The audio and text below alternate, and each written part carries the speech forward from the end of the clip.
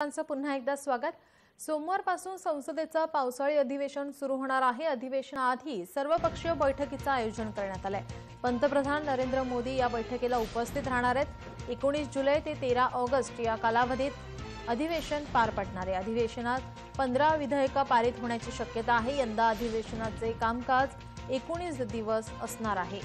सोमवारपासून संसदेचं पावसाळी अधिवेशन सुरू होणार आहे. या अधिवेशनाआधी सर्वपक्षीय बैठकीचं आयोजन करण्यात आलंय.